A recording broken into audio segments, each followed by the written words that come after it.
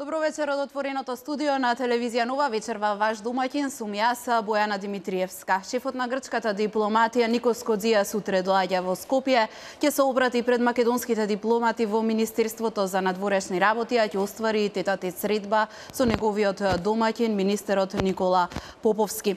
Кодзија слани во јуни исто така го посети Скопје, а пак Поповски беше во возвратна посета на во декември во Атина.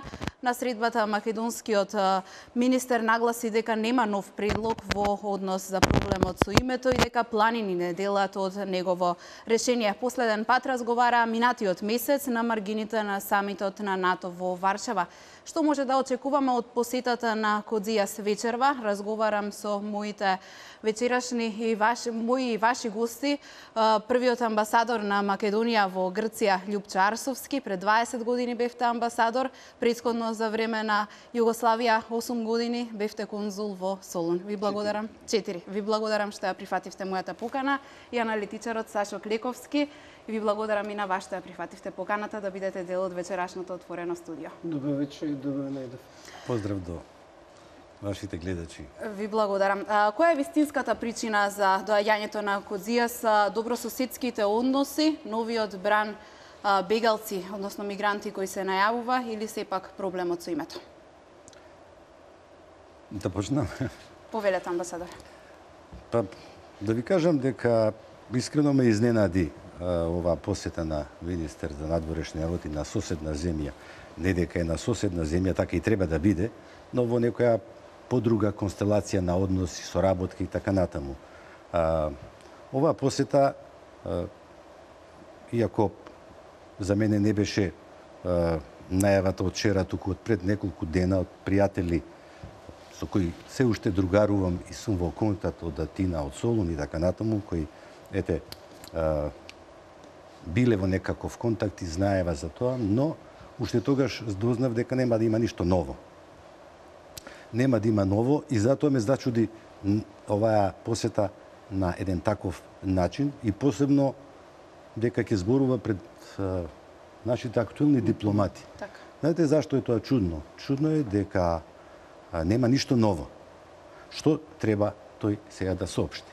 Да ги повтори старите што грците ги викаат не по не под е, зацементирани ставови, црвените линии и слично.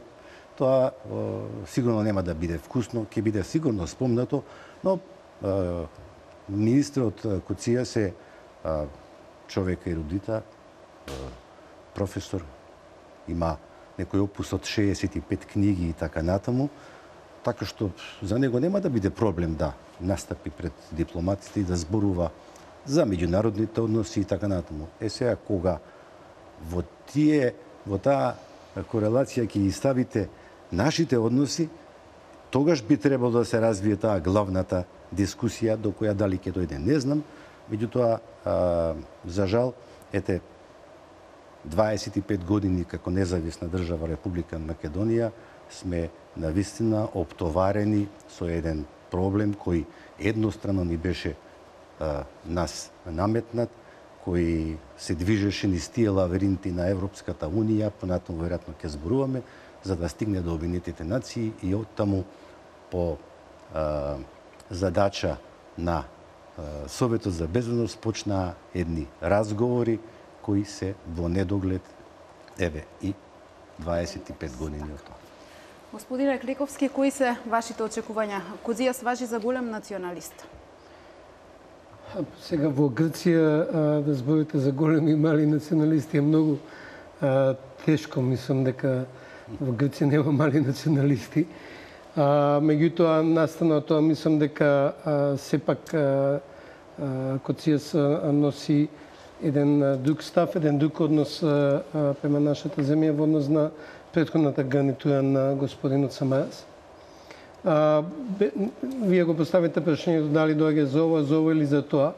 Може би доаѓа за сите работи. Значи не мора да прашуваме или или. Така. А, доаѓа за сите работи, оно што е најважно да се одржи моментумот на разговорите за мерките за градење на доверба. Тие започнаа некаде во согласно со Белинската агенда. Има еден ритм на средби на двата министри од. Скопје и Атина. Има експертски групи во министерствата кои комуницираат и за мене тоа е веќе новина. Затоа што да подсетам владата на СМРС воопшто одбиваше да разговара за мерките за градење на доверба и одбиваше да се сретне а, а, сретна на соодветни нивоа во Скопје или во Атина. Мислам дека а, а, може би не делат планини во споразумето, меѓутоа секој пат почнува со првиот чекор и мислам дека тој прв чекор е усогласување на мерките за градење на ДОВБ, пошто па може да следат а, евентуално другите а, а, чекори како меморандумот за добрососедство или а, понатаму другите чекори со кои би се одредиле начините на кои ќе се решава спорот за името.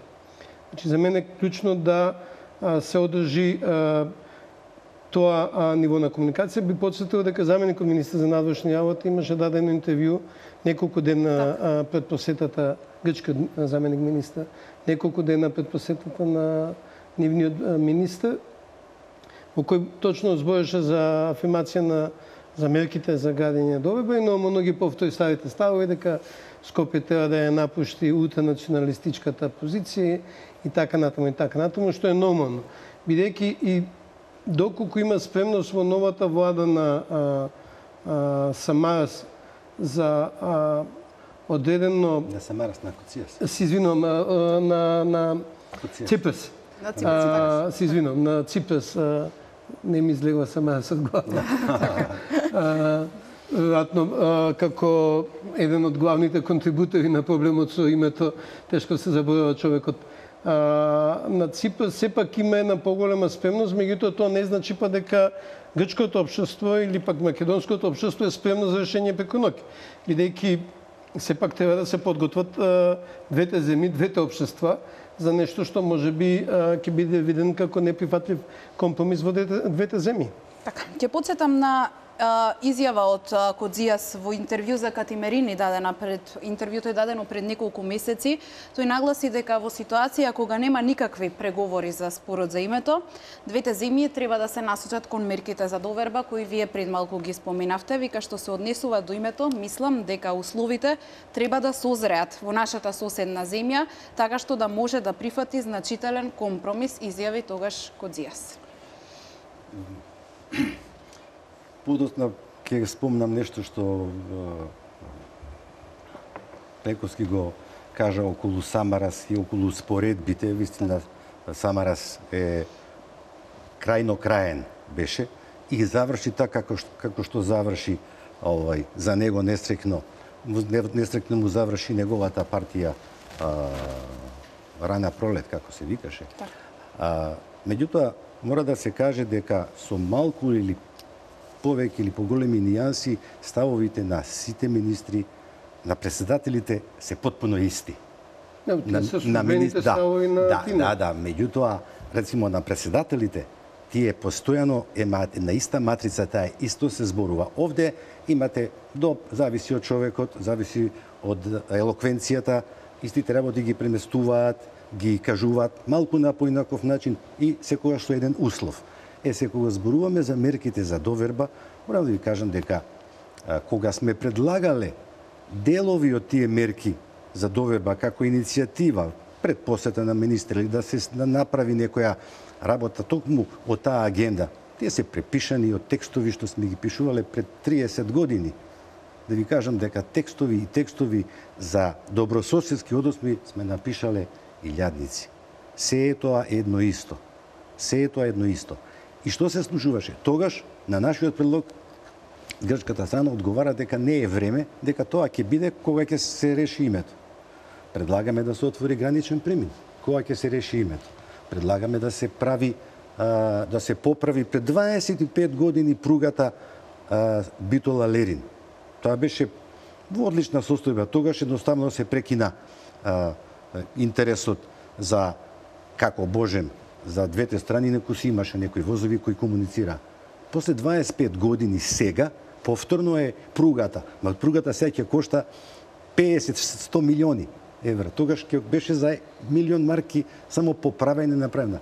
Сакам да кажам дека истите работи сега се пренесуваат и сега се вели ајде да а, кога немаме решение околу името моментално, да видиме дали тоа може да ги отопли односите, да ги... Точно е тоа. Точно е тоа. Меѓутоа, ние сме, да речам, 20, од првиот ден, од првиот ден насочени кон воспоставување добрососедска соработка. Тие не можеа да го смислат зборот добрососедска, бидејќи не не сметаа за соседи. Затоа што тогаш во умот баш на Самарас беа поделбите и така натаму и така натаму и, и други министри, а имаше периоди каде што имаше во токму во оној дел кога јас бев тие 7-8 години во Атина, имавме 70 средби на различни министри. Кога дошол некој министер за економија, за енергетика, за здравство кај нас? Никогаш. Во, то, во периодот кога сум бил имаше од кај нас па доаѓаа многу затоа што ги трпевме нивните искуства и беа многу а, војни за соработка. Меѓутоа, во периоди кога ќе дојдат избори, кога ќе дојде и од двете страни овој проблем беше користен, беше користен за да се добијат гласови, за да се а, направи ситуацијата погуста. Зошто? Затоа што овој проблем е оптоварен, оптоварен во почеток кај едната страна, а сега дел од тие работи нормално се префрлија и на наш терен и тие имаат сега прилично забелешки за наше однесување, за однесување на неколку влади наназад и така натаму, меѓутоа треба секогаш да се гледа и оние документи кои сме ги подпи, сме ги подпишале и кои треба да бидат основа за таа соработка. А, Добро ќе беше Коцијас да дојде сега и да каже дека сме во финали дури да го подпише. Ете, пред амбасадорите на Македонија дури да го подпишеа тој договор. Како што премиерот Симитис дојде 2001 година и во Александар Палас се подпиша договорот меѓу тогашниот председател Трајковски и Коштуница за границата со Србија. Тоа беше голем чекор. Тоа беше чекор дека тие ја признаваат целата држава, тогаш се заокружија границите. Трите беа а, веќе признаени уште од пред Втората светска војна и а, обележени така натаму и се направи договор и за последната граница. Нажалост, тогаш бевме повредени како држава кога изби војна. Еден од причините беше и таа граница, да ви кажам, затоа што дел зафаќаше во односите меѓу Србија и Косово. Косово не му даваше на Србија а, мандат да разговара за нивната граница. Меѓутоа, 1991 година, кога ги молевме да направиме границата, и тогаш ќе работевме и на безбедноста во наредните пет години. Милошевич тоа го одбиваше, границата беше напуштена и кога ја подпишаа, практично ни подпишаа граница што не ја контролираат. Сакам да кажам дека а, со Грција мораме да работиме на вистина на сите елементи што значат добрососедство, дека живееме во еден регион. Нема повеќе играње со нешто што се случувало порано во историјата. Господине Кликовски, кои се тие услови кои ги споминува Кодзија што треба да созреат во нашата држава? На што мисли конкретно? Може ли Ја мислам дека а, дека Грција настапува во моментот со нивните црвени линии, така. а тоа е дека они решението го гледаат во а, сложено име за државата кој ќе го збори содржи зборот Македонија и некоја одредница и тоа име да биде за севкупна употреба и они сметат дека а, веќе направиле доволен исчеко со тоа што прифаќа да го има зборот Македонија. Што не е точно, бидејќи сегашната референца поранешна Југословенска република Македонија веќе го содржи зборот Македонија. Уставното име Република Македонија. Така да така да ја не гледам дека они а, а, се поместиле од позицијата од 93-94 година, таа едната те иста а, позиција и мислам дека а, очекувањето дека ќе создаат после 25 години одредени услови која не созеа за време на грчкото ембарго, која ни беше најтешко. Ние бевме под грчко ембарго, економски која ни беше најтешко. кога бевме во целосна изолација, а, кога чекавме редици да полнеме бензин. А, во многу други ситуации а, а, не созеа времето за таков компромис и мислам дека е илузорно да се очекува да во било кој момент во Македонија ќе се создадат услови за а, име со географска или било друга како одредница за севкупна а, употреба, како што верувам дека нема да се условите во Грција да не признае под Република Македонија.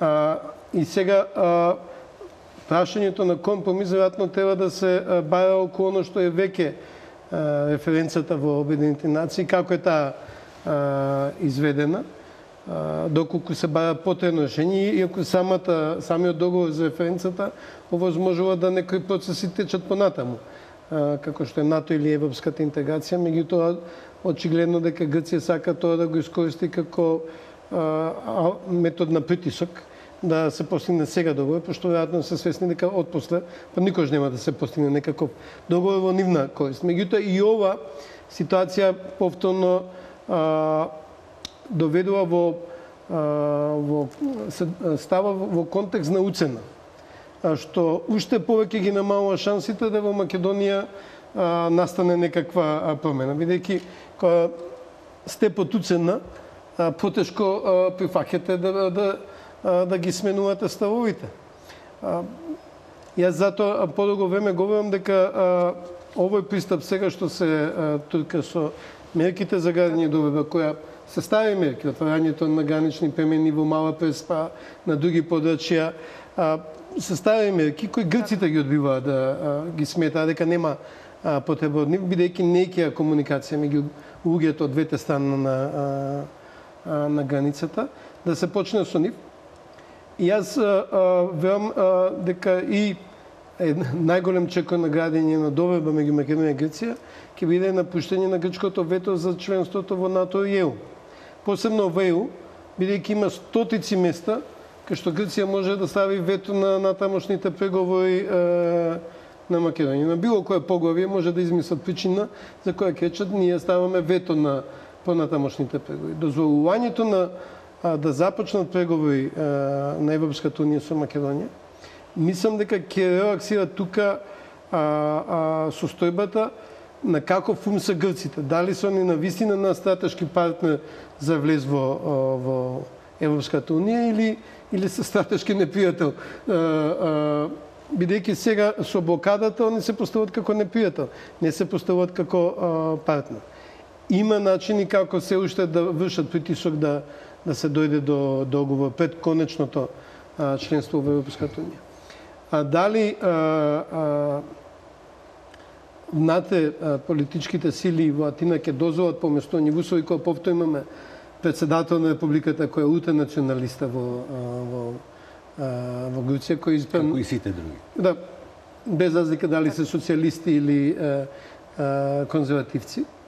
А, прашање што и таму може да помине како договор, без предходна подготовка и работа. Така... Зарем не би испаднале тогаш губитници во очите на својот народ доколку се откажат од ветото? Зошто Колку да испаднат? Па они се многу, многу кратно појаки од нас. Знаете, многу кратно би... посилни. Е... Не, значи, како може да видите губитник која вие сте веле сила, мислам Грција е веле сила за Македонија и политички, и економски, и воено. Има 5 мили... Со сега скратениот воен буџет е 5 милиарди евра грчкиот воен буџет, иначе беше пред кратениот 11 милиарди. Па ние GDP немаме колку што не имат воен буџет. Како ние можеме да, да, да бидеме закана во било кое грчко око да би, раска не можеме да видиме. И таа позиција дека се они многу посилниот, многу помокниот во овој наш меѓусебен однос, ми име полесно да направат отстапки, отколку на послабиот. Послабиот е секојаш испошан. Добро, мислам дека малку на навлеговте во една дискусија околу името како би било, што би било. Јас тука не би дискутирал. за мене е прво непобитен факт дека има голема разлика од 1991 година и 2016 година. Македонија е сега да речам, една земја која е со три четвртини од членките на Обединетите нации признаена под уставното име, нашата позиција, а, независно што е економски, финансиски тешка, нешто како слично како Грција, може би помала, а, не влеговме се уште во такви во такви а, турбулентни води, што не е исклучено понатаму.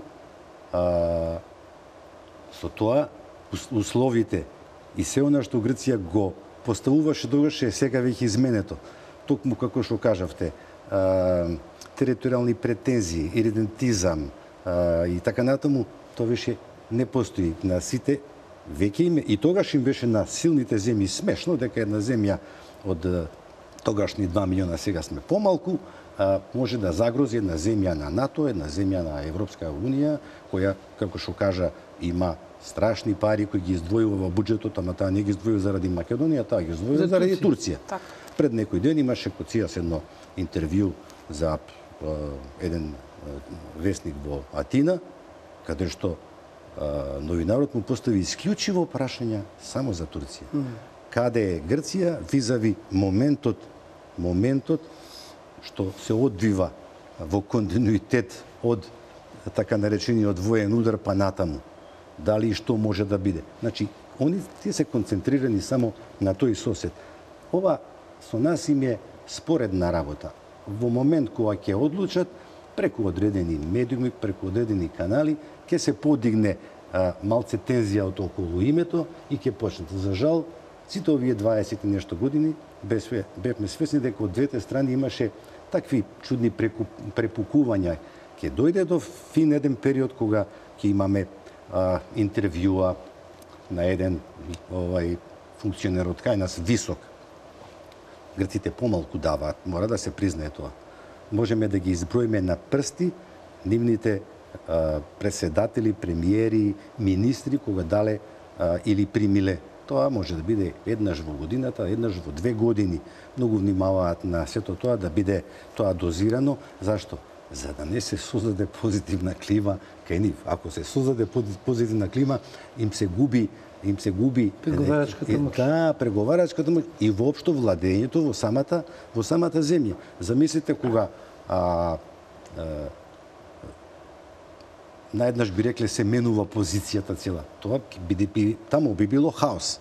Зашто? Затоа што е земјата а, веќе, јас кога бев а, Златна Зора беше една мала организација на демонстранти, така да кажам, условно агресивно поставени, контролирани од полицијата 100%.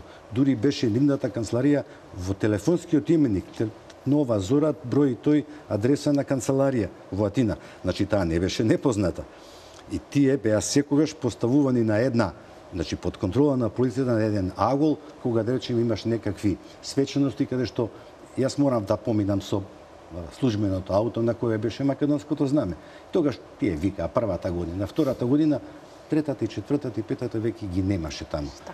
Но тоа подосна, подосна, повторно Златна Зора со состојбите на Балканот, со состојбите се а, воскреснаа, да кажем, и дури стана во немоќ кога е државата во економска немоќ, наеднаш гледате дека национализмот расте и народот се не гледа дека утре пак ќе му биде скратена платата, тој гледа дали Турчинот поминал со авион 100 метра во воздушниот простор и дали ние кај нас некој политичар рекол нешто или сме стали некој споменик. И тоа е тамо тоа и народот едноставно Златна Зора доби пратеници, ве молам пратеници во парламентот.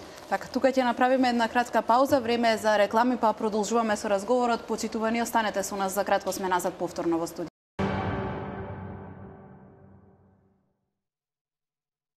Почитувани повторно сме назад во отвореното студио на телевизија Нова. Утре доаѓа шефот на грчката дипломатија Никос Кодзијас, што носи тој што може да очекуваме од неговата посета на оваа тема.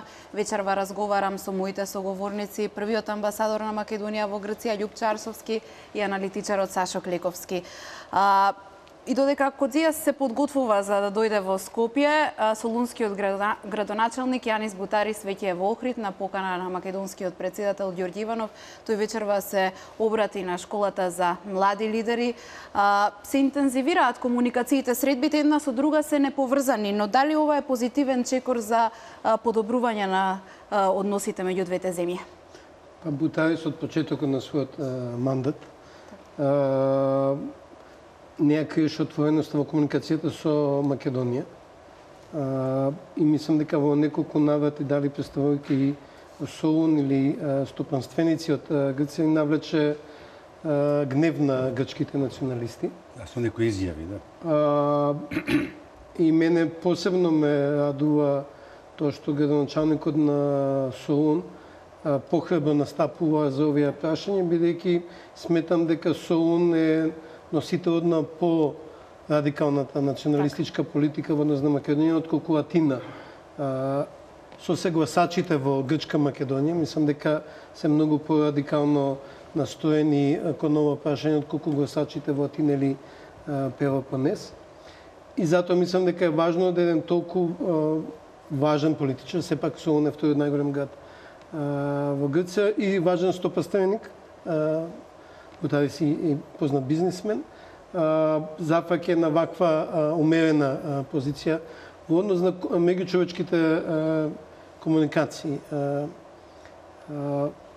со политичари, како што е председателот Иванов, со кој па грчките политичари избегнуваат Така. До сега немало ниту една официјална контакти, да, така. да, да.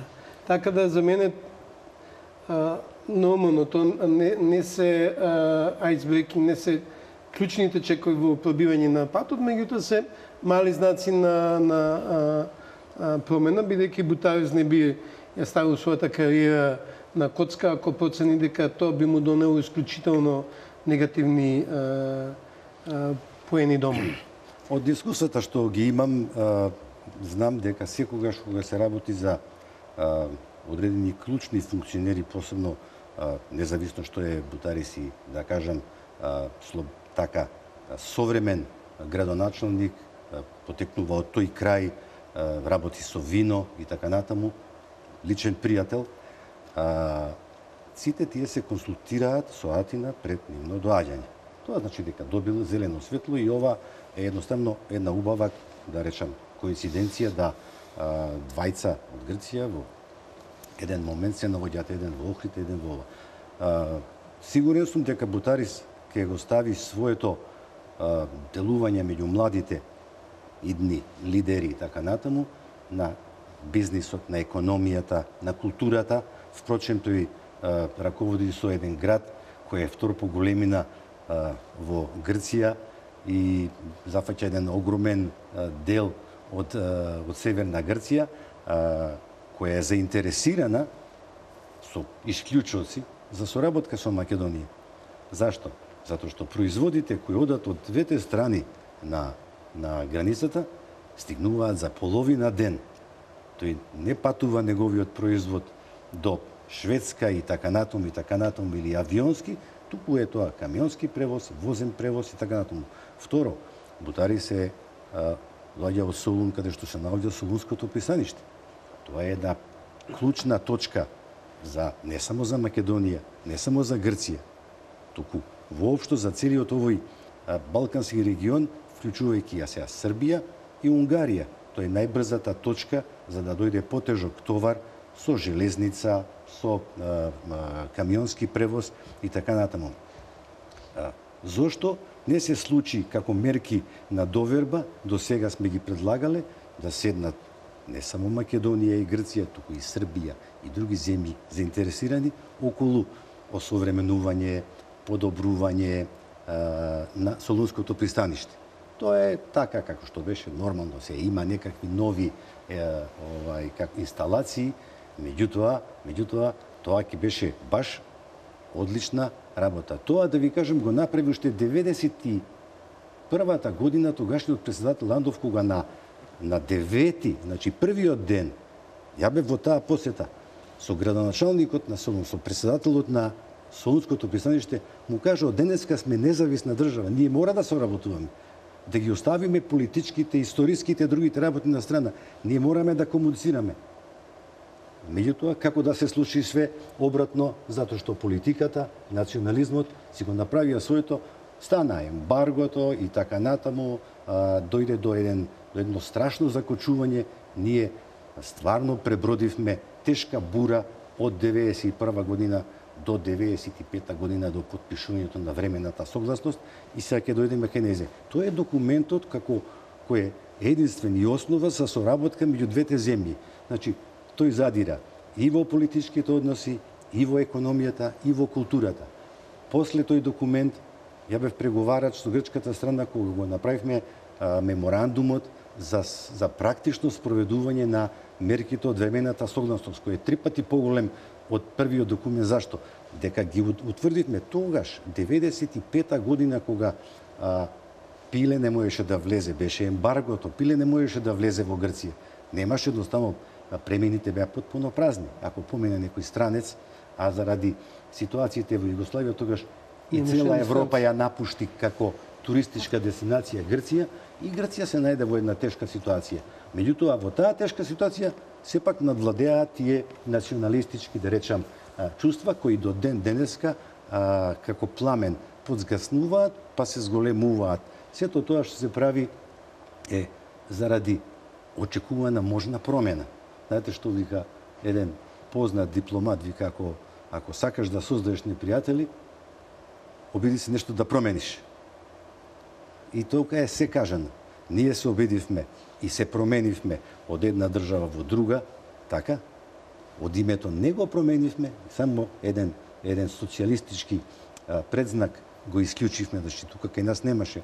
Меѓутоа, таа промена готово создаде едно непријателство кое е на пријателство кое до ден денеска трае со различни ова. Значи зборот ми беше дека економската соработка е една од главните елементи, така. клучните елементи во градењето на доверба. Да ви кажам, во мој период па дојде да а, дизајн фантазија, други некои отворија дуќани во Солун, отворија мали работилници, а во Атина се обучуваа неколку а, а, асоциации од Македонија во занаети, тоа го финансираше Европската Унија, меѓутоа тоа беше баш точно градење на доверба. Луѓето станаа пријатели, станаа кумови. А, тоа е она што ние сме го предлагале цело време. Кога збориме за премините, предлагавме кај Маркова нога, кај Преспа, да отвориме премин. Патот од кај нас е направен до границата. До границата. До селото а, Агиос Германос или Герман, и до Мала Преспа има само 2-3 километри. Замислите, 2-3 километри. Европската Унија даде подршка на одредени наши предлози и ја повика и грчката страна и трите премиера во еден период 2001 година негде а, пролета се состанаа во, во Герман и се договорија и подпишаа токму како елемент за доверба се ја вклучени албанската страна да се направи пат околу Преспанското езеро не за автомобили, за за джогинг, за со велосипеди и така натаму, граничните премини, да ги да го користиме искуството на Словенија. Словенија и кога беше и во поранешна Југославија, инсистираше на повеќе гранични премини со Австрија и со тие има со велосипеди, негде поминуваа гранични премини каде што нема мало грани... има само мал малогранични премини, нема камиони, значи тоа е тоа. 70 премини имаа тогаш. Имавме три и се изборивме еднаш за тој дојран да го направиме и за другите не дојде ред. Не можете да зборувате за градење на мерки за дојрба кога цело време сте затворени. Затоа што кога ќе повтарате една една иста работа, веќе станувате смешен, независно од убавиот вокабулар како што и денеска нашиот министер го даде изјава кога го праша околу целата таа работа. Вели да не се нема да разговараме за она што сме направиле. Не, Па од тука треба да почнеме да видиме што сме направиле. И, иако тука ние се наоѓаме во една прилично шизофрена а, ситуација во однос на слободката на економско поле. Значи Грција цело време меѓу нашите први пет најважни економски партнери, трговски партнери, но, но ние сме многу помали од нив и нашата важност за нив се вкупно е многу мала. Меѓутоа, ако ги погледате и на размена на, на, на луѓе, а, баш денеска случајно читав дека во период 2011-2015 грците се по бројноста втори туристи, странски туристи во, Македонија. во Македонија после србите, а, а околу, ми се чини околу 1 милион а, македонци годишно патуваат во Грција, што е повеќе од сите други патувања во било која друга а, а, земја. И сега, која имате дека еден значителен дел од грците, посебно од Грчка Македонија, имат комуникација со Република Македонија, која веројатно секој македонец бил во Република Грција, чуден овој статус на непријателство, бидејќи во скоро сите анкети на јавните перцепции, граѓаните на Република Македонија јасно ја, ја доживуваат Република Грција како непријател. Околу 90% ми се чини дека во последните анкети, што е многу повисоко од било кое доживување на некој од соседите како а, а, непријател и, и таа е таа шизофрена а, ситуација. Ги доживуваме како непријател, а нема а, а, наш граѓанин кој не бил а, дали на одмор, дали на кратка посета, дали на лекување, Шопинг. дали на шопинг во, во дали на посета на роднини а, во, во, во Грција. А, веројатно а, и граѓаните чекаат да во ВВО-вите се одлучат да а, ги променат политиките за да почнат и овие постоечки комуникации што веќе се случуваат да функционираат понормално, не во една ваква шизофрена ситуација. Е сега кога сме Една паралела Така. само а, за состојбите, да речеме, меѓу две земји, конкретно пак е Грција и Турција. Тие нормално се една мала земја, Турција е една огромна земја. Тоа ми го кажале самите грчки а, државници дека стварно се работи за 100 милионска земја која со која имаат оние специјални договори, имаат они затоа и во НАТО имаат посебен договор и посебни се тие средства за армијата што ги издвојуваат, бидејќи тие се во една алертна состојба цело време. Таа работа спадна уште во периодот кога бев и да кажам дека Папандреу беше а, еден одличен играч, младиот Папандреу Јоргос, кога се обиде а, преку две години работеше на олабавувањето на тензиите меѓу двете земји. Да не, кога ќе се каже Турчин, овде се тоа се е, синоним за непријател. И грк и обратно. Дојдоа турски пејачи и пејачки во во а, кафаните и во а, овие како се вика таверните, обратно грците отидоа таму, народот нема никаков проблем. Знаете што ми кажува посебно воени лица? Вика, знаете дека лесно дишиме сега? Значи, поготу се случи земјотресот во во Истанбул, кога грците испратија помош и тоа беше таа на пинг-понг топчето, ако се сеќавате кога а, Америка и Кина се спријателија преку пинг-понгот. Значи, тоа беше. Ја очекував сега кога беше ова со поплавите кај нас дека ќе има некоја поголема гласност од соседните земји, посебно од Грција. Прочитав некои пет пумпи. Мислам за една европска земја, за една европска земја, таа можеше да издействува. Мислите дека грците, европејците нема да им дадеа некои средства само да поминат низ грчката страна за да дојдат? Едноставно не им одговара во моментот. Една земја да испрати пет пумпи, па пет пумпи јас можам да вие заедно ќе идеме да ги купиме сега во во првата продавница. Така. Нели е така? Сакам да кажам дека повторно зборуваме за мерките за добрба. Тие се градат со тек на време, треба постои това. А, нашиот мини- министр вели дека за името вика тоа е посериозен. Не е посериозен, тоа е многу сериозен проблем. И за него треба едниот вели планини, другиот вели многу време треба. Луѓе помина 25 години. Уште колку треба да помине. Да, да, значи треба да се работи. Треба да се работи. Ама мораме да тргнеме и од тоа што сме направиле. А не да тргнеме од денеска дека ќе ги правиме. Па ги правевме 40 години работиме на мерки за доверба. Почитувани ќе Да. продолжиме со разговорот и секако за оние комуникации меѓу нашите државници и тамушните во Грција, а, но веднаш по рекламите бидејќи е време за да направиме уште една пауза за краток блок на реклами. Почитувани гледачи, останете со нас за кратко сме повторно назад.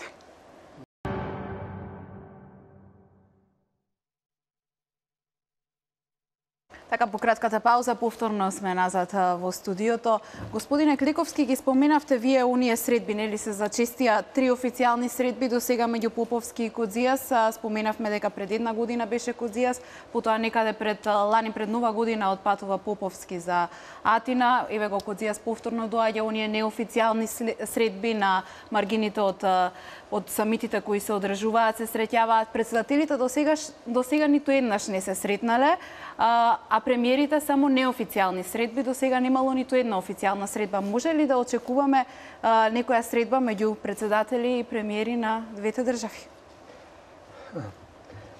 А, видите, ние значи имавме период... Зборувам за, за овој период сега. Имавме период скоро. а, кој имаше многу чести. Мислам, десетина седми меѓу Папандел, Јоргос Папандел и Груевски, ако не, не грешам, во години и по две години. Тоа во многу краток... Како премиер, мислиш? Да, како премиер. Така. А како а, министр за надворешни работи со Димитров имаше над 30, на 35 средби, 36 Значи, средби. А, председателите грчки секојаш имат една многу по а, жестока позиција во однос на споразумението и бранители на а, цвените а, Линии, така. линии. И таму не очекувам дека ќе има а, некоја без, брза промена и воспоставување на комуникации меѓу нашиот историска вест. председател и, и, и нивниот а, председател. А, дали а, ќе дојде до седба на македонскиот и грчкиот премиер, мислам дека ќе зависи од тоа дали од таа седба ќе има можност нешто да се направи поконкретно, бидејќи фазата на разговори, заради разговори ми се чини е, СП Папандео и Груевски. Се повторно отварање еден нов а, циклус а, нема многу да а, помогне ако не постои спремност а, да се а, поместа да работите а, понатаму, што ќе зависи од некои внатрешни калкулации.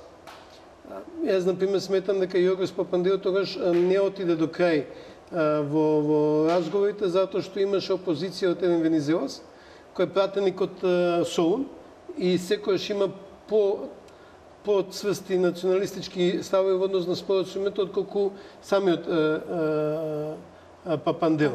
Значи, е, кога внате во партиите, без разлика дали е е тоа време Пасок, се Сириза или неа демократија, има утре националистички крила и внатре им тешко на а, грчките политичари во собствените партии да ја, да ја придвижат а, работата. Јас користам еден а, друг индикатор дали ќе дојде до придвижување, а тоа е статусот на а, а, Кипар, односно рефлексијата на грчко-турските односи. А, ако во Атина се смогне сили да се реши кипарскиот а, проблем, кој е подлабок, Тој нема да се Тоа е реши. 40 а, а, години, па ветуваат на секој две години има нови ветувања и нов оптимизам. Сега имаше еден оптимизам а, и американскиот државен секретар го подкрепи тој оптимизам дека може би ќе има нов, ново а, раздвижување на преговорите а, таму. А, бидејќи мислам дека ако се спрема да направат пробив по тоа прашање, ќе се спрема да направат пробив и во ова прашање. Значи, сепак е битна довербата. Да се изгради клима. Кога ќе направите клима, се може да решите. Се може да решите. Јас, јасно. Значи, прашање на постигнување на, на, на моментот.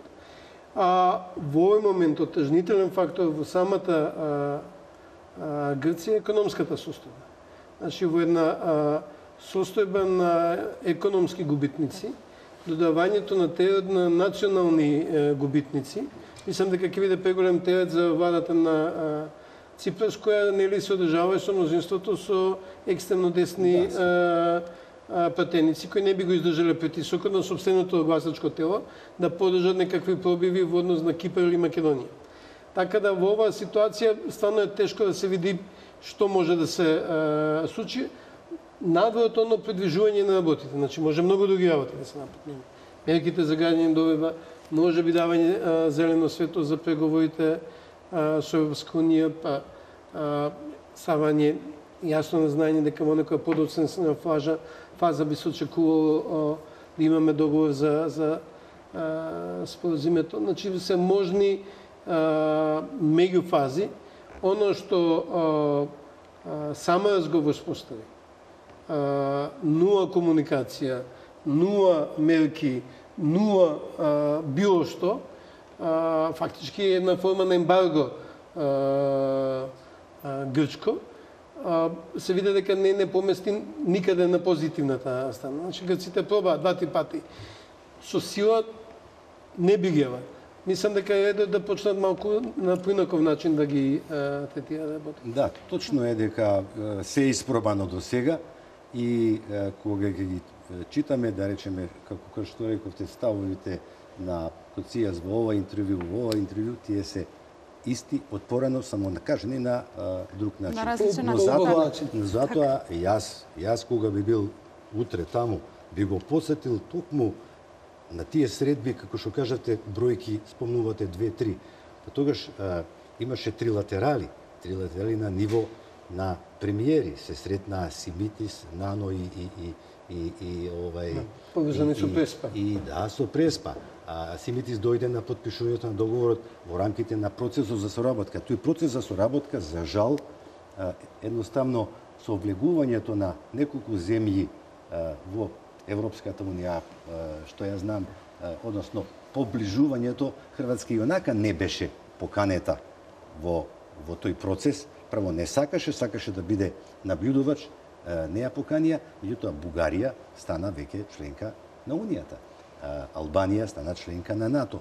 Кај нив опадна интересот за еден процес на соработка, бидејќи дел од тие работи што требаше да им помогне на сите земји процесот за соработка што го го проектираше познатиот, не знам дали е се уште жив, тогаш беше доста од мината старост амбасадорот Шифтер. Тоа беше потреба токму градење на мерки на доверба во сите области, во економијата, во културата, во образованието на сите земји, затоа еднаш во годината се гледа при, министрите за надошни и веднаш по нив на председателско ниво. И тогаш дојде до средбата на, да речеме, Глигоров беше 97 година на средбата во, во на Крит. Правите разлика меѓу председател на Македонија и председател на Грција, бидејќи председател на Грција апсолутно нема никаква, никаква, никаква власт. Тој само подпишува по некој декрет за некој орден и подпишува нема за аболиција. Амбасадоре, Да. Не, сега Так. да кажам, а затоа па Симбитис дојде исто на процес за соработка. Ние бевме го водевме процесот за соработка една година, пред некоја година, дојде од Грција на ниво, не знам, заменик нешто. Значи, сакам да ви кажам, тоа е точно кај што треба да се посуди дека тука требаше да се гради мерката за доверба. Сега почнуваме повторно на почетокот, е, па не можеме секогаш да тргнеме на од, од нулта линија, па негде сме стигнале. Да. А, така, а, сакам да прашам каде е овде Европската Унија? Постојано Европската Унија е таа која посочува дека на прво место на земјите треба да им биде владењето на правото, од друга страна има политика чинам на двојни аршини. Тоа е мојот став за тоа што а, не ја почитува пресудата од а, ХАК нели која беше во полза на Македонија. Како може една земја која што како што спомена господинот Клековски економски губитник да поставува вета, а од друга страна Европската унија да не убедува дека единствената пречка за влез во европското семејство е спорот кој Македонија го има со низината соседна земја. Да, за жал, а, уште не беше исушено мастилото од, од подписот на пресудата од Хаг, тогашниот генерален секретар на НАТО веднаш објави дека тоа ништо не е образувачко за НАТО, што во основа е самата пресуда и така натаму е се во позитивна во еден амбиент кој ќе го кажувате во Европа, тоа ќе го ценат, меѓутоа не ќе ценат дали се за тоа обврзани или не. Европа во моментов е соочена со не знам колку проблеми и сите ги знаете да не ги редам. Од миграција до а, одцепувањето на Британија, која постапка ќе трае, ќе биде болна, ќе биде со доста, а, како да кажам, проблеми и така натаму. И сите земји настојуваат да видат кај ќе се најдат. Сега тие во тој момент како една земја која е независна. Било тоа да е Грција, било тоа да е еве и Македонија, ако сакате, иако Македонија е мала во таа соработка со со Велика Британија. А меѓутоа гломазниот механизам на Европската унија придонесе и во овој период од 20 години што ние го знаеме врзано за спорот со името, односно уште од почетокот од 91 година, сите работи тие се одвиваа со амплитуди, со напори. Единствено спас наш беше во делот, навистина, културните независни земји. Во тој период се сеќавате на министрите за надворешни работи на Данска и некои други земји кои покажа Јенсен, кои на Холандија, да, и на Холандија, да, кои покажаа на вистина она чукање на маса дека така не може да биде. Се сеќавате Лисабон, па Лисабон беше а, овај а, а, избришан, па дојде Единбург и така натаму, тогаш ние од ден за ден поминувавме поминувавме тешки бури. Сега е лесно сегашниве пратеници, политичари и така натаму да зборуваат и да критикуваат. Те тогаш беше на висина моментот да се покаже умешност и знаење да ги поминете сите санти, дека кога ќе стапнете на една санта со мраз, треба да знаете кај ќе го направите другиот чекор. Така е во политиката. И не е, не е политиката чист простор каде што можеш да трчаш, повдиш лево десно. Тоа е како санти со мраз. Секогаш требаше да се да се пронајде правата санта кај ќе се згазне, кој ќе еве, значи зборувам за тој пак амбиент. Вие ја спомнавте Европската унија. Токму од Европската унија сега им е јасно дека овде малку или повеќе имаме само еден локален проблем.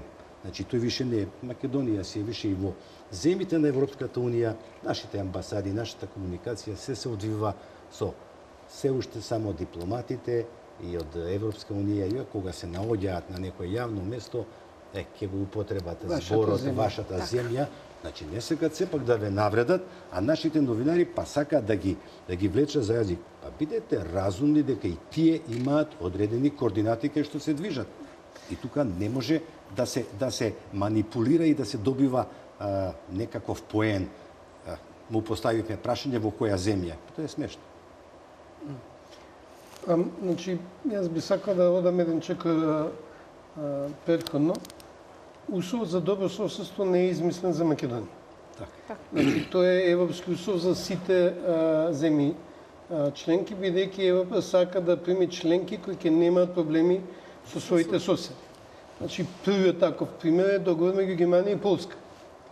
Најтешкиот за варање, веројатно, бил договор меѓу Унгарија и Романија, да. со кој се уредува статусот на унгарското малцинство во Романија, кај што двете страни дават сериозни отстапки за кои и во романската и во унгарската јавност има многу критики од националистички позиции. А, оно што е карактеристично за овие а, договори е дека помокните во тие а, разговори вообичајно правеле поголеми а, а, отстапки. Замислите се, Германија да бараше враќање на имотите на германците од Дансинг, од Гдајнски или од Познан или а, мислам ќе беше приказна без а, а, кај Пољаците ќе се изваде од памет на било какво спомнување на германци во, во Полска а, и све ќе отидеше до гјаво. Значи, а, ова е првиот пример каде што многу посилниот а, член на клубот на Европската унија, Грција, а, настапува а, доста безкомпромисно а, воз многу послабиот послабата страна во разговорите во сите параметри политички, економски, војни, демографски и така натаму. И ми се чини дека Грција заради повеќе причини го употреби своето влијание да овој процес на добро соседство не не се одвива како што се одвива некојаш понатаму. Не само во однос на Македонија, во однос на Кипар и членството на Кипар во Европската унија. Кипар е единствената членка на Европската унија која нема граница. Бидејќи има а, непризнаена територија под а, они велат под окупација, турците викаат ослободена територија, Меѓутоа, тоа е јасно кршење на принципите на Европската унија, нека нема да примат проблематични земји во своето членство. Од Кипа по-проблематична земја во Европа не постои, бидејќи има дел Па токму и самата Грција е проблематична. што не е под а, а, контрола. Па така влегува и Словенија и Хрватска со проблеми, а меѓутоа сепак интересот на Европската унија беше толку голем за да ги одвои од од Југославија и да ја да ја да речам смири ситуацијата, Пе прво беше Словенија, која немаше исто граница со Хрватска, не беше определена. Да. Јас сум патувал како председател да. на комисијата за границите во Словенија да видам на како работат, ништо не работеа. Имаа проблем, меѓутоа влегоа. После Хрватска, дури сега ќе почнат на одредени прашања, ама сега веќе притисокот е паднат. Сега веќе мерките за доверба се, да речеме, освоени. Двете земји сме во НАТО, двете земји сме во Европска Унија, ќе го решаваме. Нема да водиме војна. Тоа беше целта на Македонија со нашата политика да влеземе во Европската Унија за да станеме равноправни, за да можеме да си ги оствариме сите цели вака чекаме во предворието што ќе кажат што да. ќе кажат а, големите внатре како што беше во Букурешт кога се беше наводно готово и не се случи тоа што требаше да се случи. Да. И тука е се прашањето на меѓународниот контекст, дали на Европската Унија, односно на центрите на одлучување во Европската Унија, им се брза да се реши, бидејќи има нели долга листа на проблеми за решавање. Во еден момент ми се чинеше дека благодарејќи на агресивната политика на Путин во Украина, с големи важноста на решавањето на македонско-грчкиот спор во огромном заради членството во НАТО и затворањето на прашањето на членството на НАТО на земјите од Западен Балкан. Меѓутоа, во меѓувреме се случи миграцијата, терористичките бранови, Брекзит и не сум сигурен дека центрите на одлучување во Берлин, во Париз, во Брисел, во Рим имаат и малку време да се фокусираат на тоа што се случува тука. Така, тука правиме уште една кратка пауза за реклами и влегуваме во завршниот дел од разговорот. А, ќе го споменеме и тоа кога би можело да се реши, кога би можел да се реши овој спор, си како вашите очекувања и предвидувања и ќе се навратиме повторно на оние мерки која кои во текот на целиот разговор ги споменуваме за градење на доверба. Почитувани останете со нас, верувам дека до крај ќе го задржиме вашето внимание.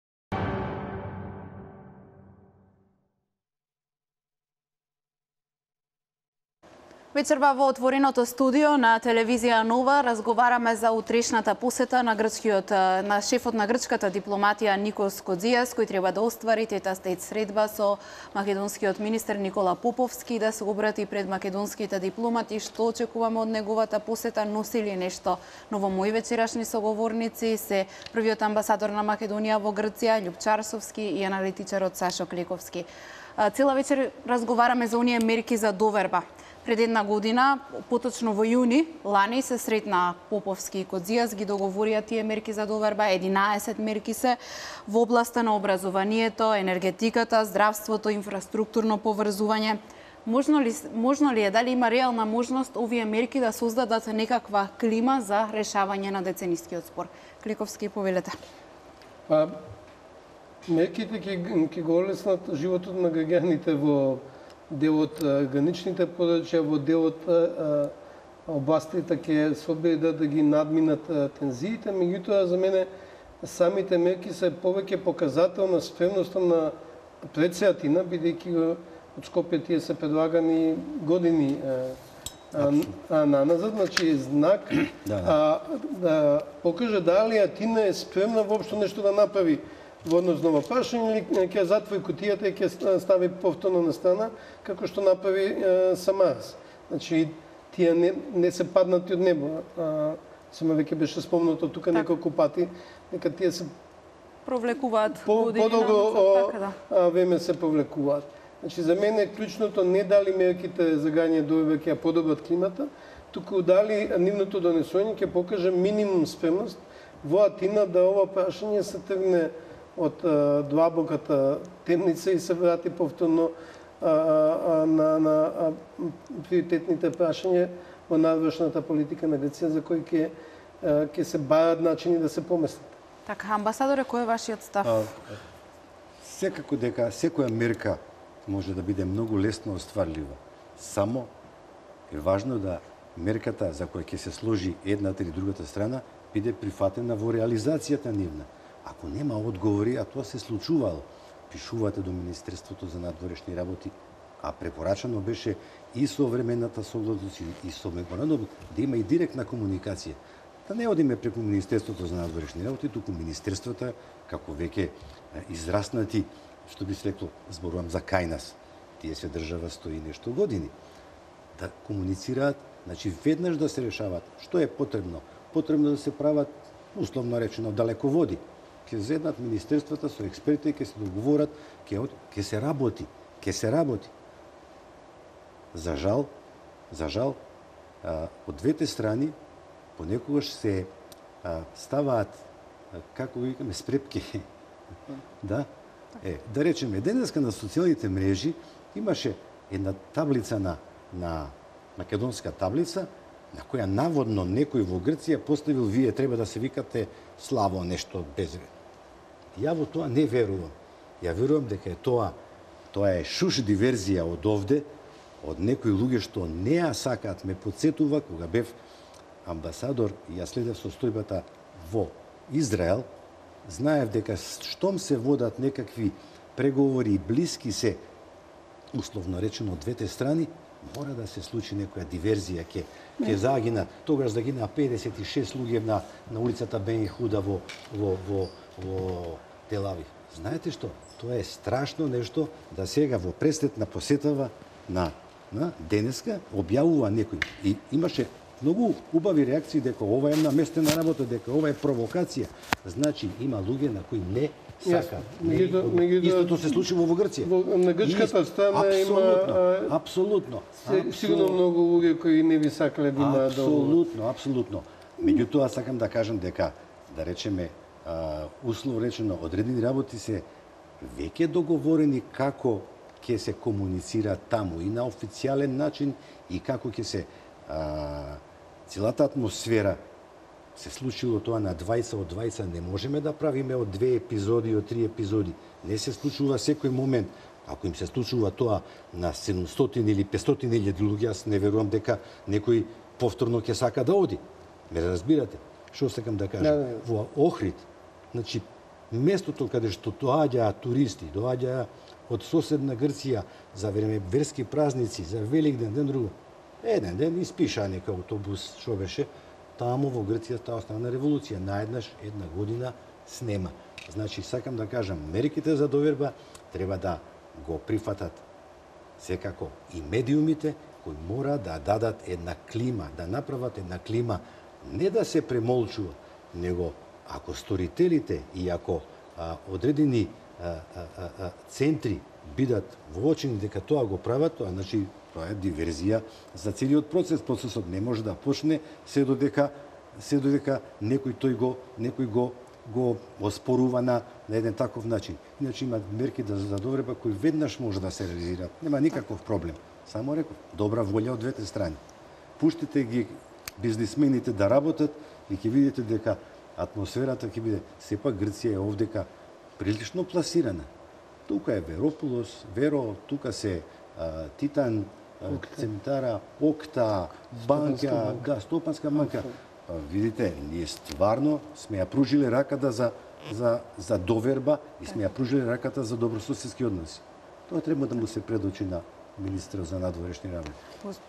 Меѓутоа, доколку а, можеме да кажеме дека штетувањето на табличките а, си инциденти од а, едни или други радикали, а, има а, елементи а, кои а, се дел од грчката политика. Например, лепењето на налепници а, на возилата кои влегуваат. Не е тоа тоа е тоа е срочено во посебен член на мерките за практична, ако нема на никаков, никаква ознака на МК со која грчката страна е оптоварена, нема никаков проблем, нема да ви стаат дека сте ви од фиром. Нема што да направат.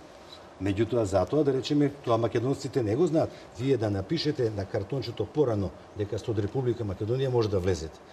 Грчкиот цариник ќе стаи до нашето име фиром или што.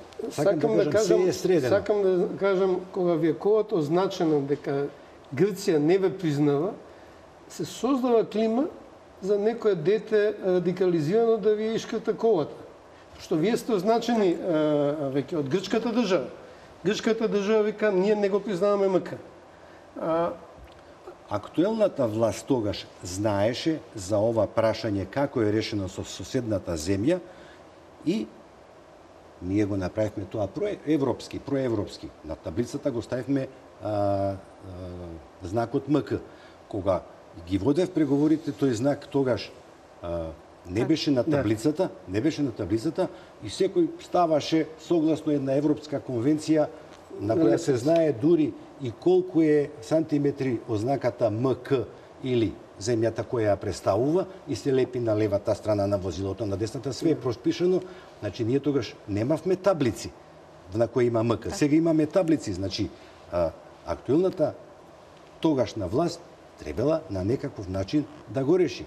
А ако тоа, тоа им го правеа во почетокот и на многу дипломати, дипломатите во Скопје знаете дека имаат МК. Да. Ама грците на почетокот се обидоа да им ги овај да им ги вадат таблиците да им ги да им ги шкртаат, направија протест дипломатите од Скопје и таблиците на дипломатите со МК си влегуваат нормално во Грција бидејќи тоа е тоа е земја трета, како сака може да го употребува, не е во рамките на договорот. Ова е значи сепак средено со еден затоа се враќам секогаш на на на правната регулатива меѓу двете земји. Тоа е многу важно. За така вие спомнавте листата на уметници од Македонија на кои ме забенет а, да. влез во, во, во Грцијата. Тоа е нешто што е неозбиливо. Така да. што може би го нарушува тој утре тие една, таа граден, една од точка за министрот за надворешни работи е а, да да постави прашањето дали во, во билатерални разговори, дали а, тамо, дали ќе го постави некој ако сепак знаат, а верувам дека знаат затоа што знам луѓе кои му пишаа на нашето министерство за случаите што ги имале на граница а, еден историчар, еден доктор на науки од, од, од Институтот за македонска историја, еден пејач и така натаму, тие се вратени од граничен премин дека се непожелни во Грција. Ве молам, во европска земја да еден еден, а, а, а, еден не е важно граѓанин на оваа земја биде вратен, не е важно дали е тој доктор на науки или е или е пејач биде вратен, веќе во Европска унија треба да зазвони. Тоа значи дека нашите и во Европската унија од Европската унија, мислам, на амбасадорот и така натаму, мора да го нотираат тој да кажат се случували ова и во другите европски земји да не може да влезе. Тоа е тоа так. а, кое ги обременува баш овие а, мерки за доверба. Имав уште доста прашања да ви поставам. Се, се надевам дека во некоја наредна прилика со оглед на тоа што темата за спорот за името е една неисцрпна тема, има доста многу да се говори. А, мораме да привршуваме вечерва со отвореното студио со сема накратко доколку имате некои завршни зборови еве а, дали може да се предвиди кога може да се стави крај на овој спор за името и кога Македонија и Грција ќе ги закупаат секирите. Па, спор за името ќе се реши кога нема више да биде релевантен за ниту една двете земји, што значи дека ќе помине уште некој време да дојдеме до решение. Но тоа не значи дека треба да седиме да чекаме да дојде тој ден пасивно. Има многу работи што може во меѓувреме да ги направиме. Така, Мислам дека тоа треба да биде дел од нашата стратегија, не политичарите да го користат ова во пресрет на изборите преку вестниците со давање на различни изјави, туку еден тим да седне и да направи стратегија дали и како можеме да го привршиме ова што сме обврзани со три резолуции на Обединетите нации. Јас на во една груба моја забелешка реков дека Немец треба да го врати мандатот и да го извести Советот за безбедност дека двете страни се толку закопани во ровови што ова прашање не може вака да ќе биде како кипарското што го спомна и 40 години так. секој истата песна ќе ја прави. Меѓутоа сега се условите изменети, тоа што го кажуваше Грција тогаш не постои, ние сме веќе признаена етаблирана земја секаде и ако ја подобриме нашата економија и политичката ситуација што е многу битна во земјата, не да околу името се прескакаме дали вие рековте тогаш или испративте и разговара за името, вие рековте на хрбетот и така натаму, глупости. Тоа е прашање кој треба да се разговара на маса зелена. Ви благодарам за вечерашното учество, учество во отвореното студио на телевизија Нова. Вам, почитувани гледачи, ви благодарам на вниманието. Се надевам дека одговоривме на голем дел од прашањата и дека одговоривме на она што може да се очекува од утрешната посета на шефот на грчката дипломатија Никос Кодзијас. Пријатно следуваат вестите со колешката Анита Петровска-Рајковиќ.